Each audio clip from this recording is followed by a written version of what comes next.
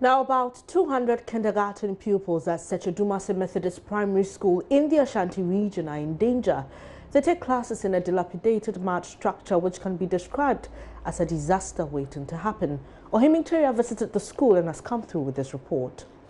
Built about 70 years ago, the structure first served as classroom facility for the main primary stream of the school.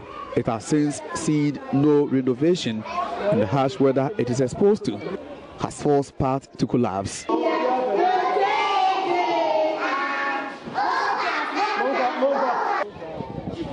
It leaks badly whenever it rains, leaving poor innocent children and their teachers to their fate.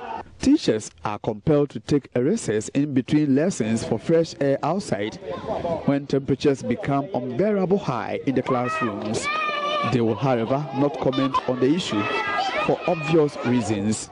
Samuel Osei is a native of Sekyedumase who schooled in this structure 44 years ago in 1974 as a class 5 pupil. I came here in 1974. This is where I had my primary education.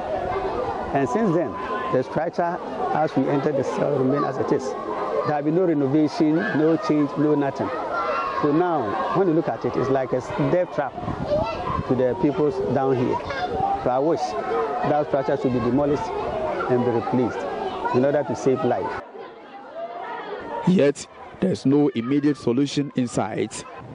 The Sekyedumase Municipal Assembly says it has no budget for immediate renovation or reconstruction of the block. Mohamed Salisu Bamba is chief executive.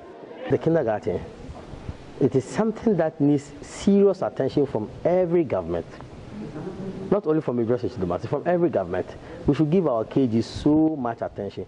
In some part of the world, if you don't have PhD, you cannot teach KG. I don't know whether you are aware. So I think uh, we have to start by doing our part. Our bigger part that we need to do is provision of uh, infrastructure.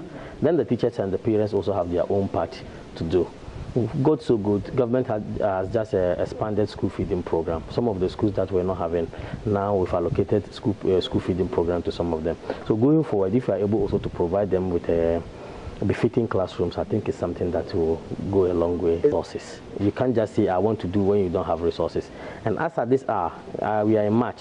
I think every assembly is done with their budget for 2018. You understand? But things that you need to do you have to maybe either go to the contingency or find a resources somewhere to be able to do. We've not budgeted for some of these projects, even though we have budgeted for a lot of school projects. Mm -hmm. But for some of the KG, we've not budgeted for it for this year, 2018. Likewise, we've not budgeted for the ICT center, but I, I saw the need of providing ICT center. So when we are going to re review our budget mid-year, there is some, something that we are going to to add to the progr programs that we want to undertake this year. But with regards to the KG block, immediately I'll send engineers to come and assess the the project. If we can, uh, if we can renovate, then we can we can do it this year. But if it is something that we need to provide a new structure altogether, probably it has to be next year. Ohiming Teria with that report.